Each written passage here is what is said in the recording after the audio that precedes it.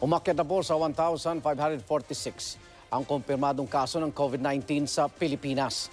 Dahil yan sa 128 na dagdag na positibo sa COVID-19. Pito naman po ang dagdag sa tala ng mga patay, kaya 78 na ang total deaths sa Pilipinas.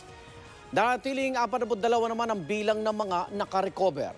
Kumpara sa ibang bansa, mas malaki pa rin po ang ating death rate na nasa 8.3%. Nasa 2.7% naman ang ating recovery rate.